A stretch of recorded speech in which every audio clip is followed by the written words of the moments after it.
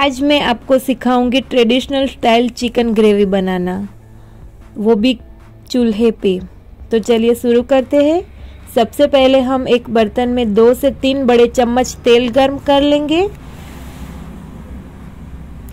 तेल के गर्म हो जाने के बाद हम इसमें दो हरी मिर्च और तीन चार कटी हुई प्याज डालकर मिला लेंगे अच्छे से।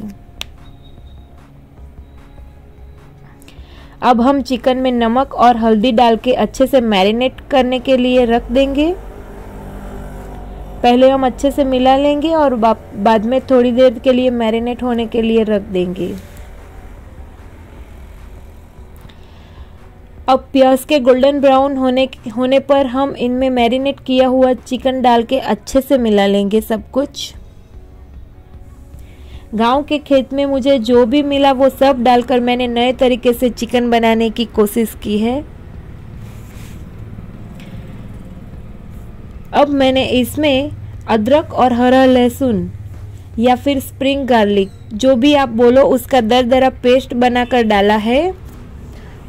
और फिर मैंने यहाँ पे लहसुन और लाल मिर्च पाउडर को पीस के मसाला बनाया है, वो भी मैं डाल दूँगी।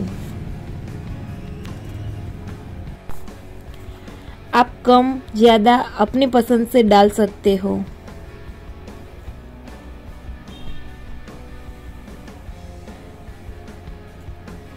अब हम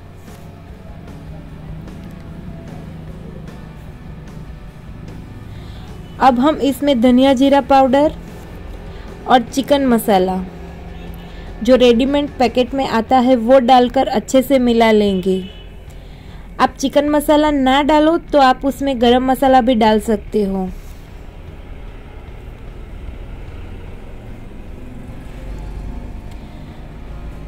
और सब वापस अच्छे से मिला लेंगे। और पाँच मिनट तक ऐसे ही पकने देंगे।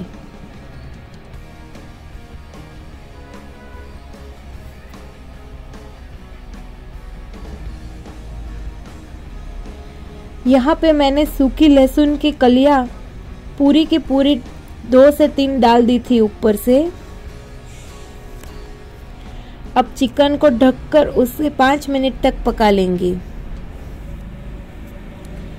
इसके बाद यहाँ पे मैंने 10 से 15 चेरी टोमेटोज डाले हैं और हम इसे बंद करके 15 से 20 मिनट तक पकने देंगे।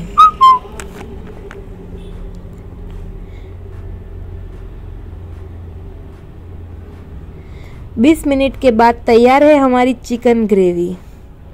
तो चलिए लास्ट में हम धनिया डालकर गार्निश कर लेंगे। और आपको ये वीडियो अच्छा लगे तो सब्सक्राइब करना मत भूलना।